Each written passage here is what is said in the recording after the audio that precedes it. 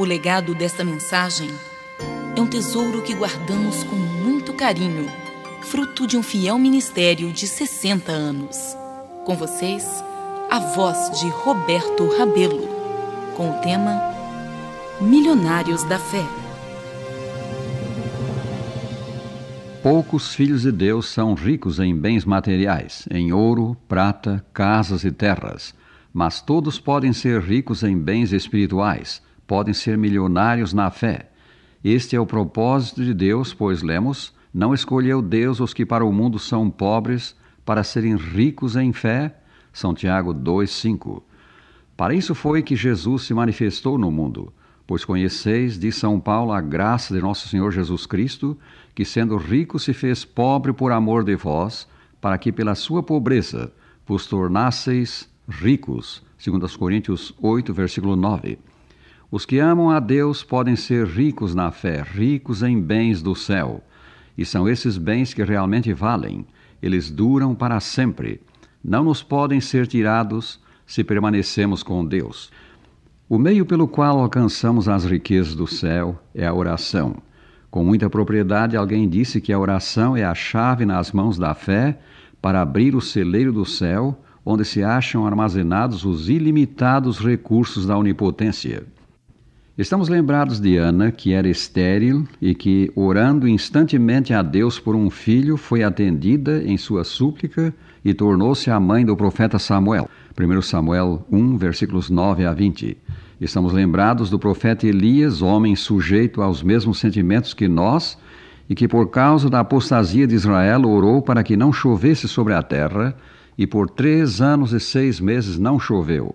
Então orou de novo quando o povo se voltou para Deus, e o céu deu chuva, e a terra fez germinar seus frutos. São Tiago 5, 17 e 18. Deus promete ouvir a oração, mas há condições que devemos preencher para que Ele o faça. Uma das condições é que peçamos segundo a Sua vontade. E esta é a confiança que temos para com Ele, que se pedirmos alguma coisa segundo a Sua vontade, Ele nos ouve. 1 São João 5,14. Este é um ponto básico no grande plano do céu. Nossos pedidos devem ser segundo a vontade de Deus. Ao dar a oração modelo, o Pai Nosso, Jesus ensinou-nos a orar: Faça-se a tua vontade, assim na terra como no céu. São Mateus 6,10. Outra condição a preencher para que a oração seja atendida é a do abandono das práticas do pecado, o que desvia os seus ouvidos de ouvir a lei até a sua oração será abominável. Provérbios 28, 9. Ainda outra condição é a de crer nas promessas de Deus. Jesus mesmo disse: Tudo quanto pedirdes em oração, crendo, recebereis. São Mateus 21, 22. O poder de Deus é oferecido ao homem para a vida reta. Esta é uma bênção que Deus sempre dá quando a pedimos. Ela é segundo a vontade do céu. Deus nos quer vencedores. O seu infinito poder está ao nosso alcance para vencermos o pecado. A promessa de poder envolve fortaleza para os embates da vida. Deus é o nosso refúgio e fortaleza, socorro bem presente nas tribulações. Salmo 46, versículo 1.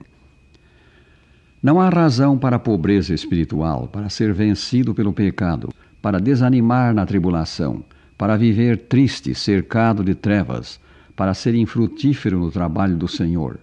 Deus nos quer ricos na fé, milionários na fé. As riquezas do céu estão ao nosso alcance. Devemos pedir, e Ele é poderoso para fazer infinitamente mais do que tudo quanto pedimos ou pensamos. Efésios 3, versículo 20. Se somos pobres na fé, fracalhões no espírito, o segredo está nas palavras da Escritura: Nada tendes, porque não pedis. São Tiago 4, versículo 2. Conta-se a história de certo homem que pediu dinheiro a Alexandre Magno para adotar uma filha. O rei o mandou ao tesoureiro com a instrução de pedir o que quisesse. O homem pediu uma enorme soma e o tesoureiro, sobressaltado, foi ter com o rei, ponderando que, a seu ver, uma quantia muito menor seria suficiente. Não, replicou Alexandre, dê-lhe tudo o que quer. Eu gosto desse homem. Ele me honra. Trata-me como um rei e prova pelo que pede crer que sou rico e generoso. Prezado amigo, Deus é infinitamente rico e generoso, e nós, homens, honramos o Senhor quando pedimos dele grandes coisas. Peçamos sempre as riquezas do céu. Deus, mediante Cristo, nos dará liberalmente, e seremos milionários na fé.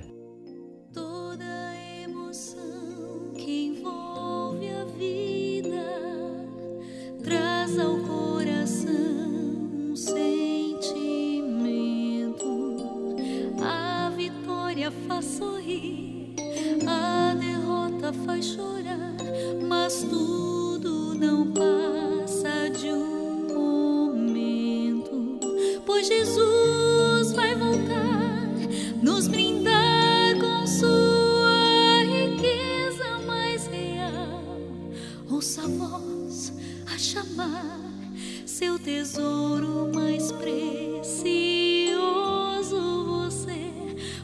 pode achar.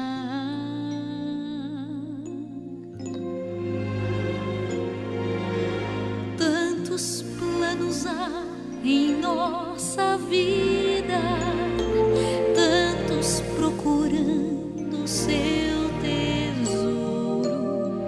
Não importa o que perder, cada um só quer buscar cada diamante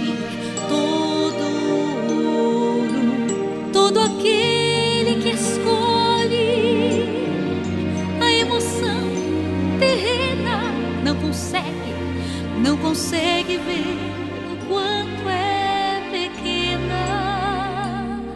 A esperança que envolve o coração, mas todo aquele que escolhe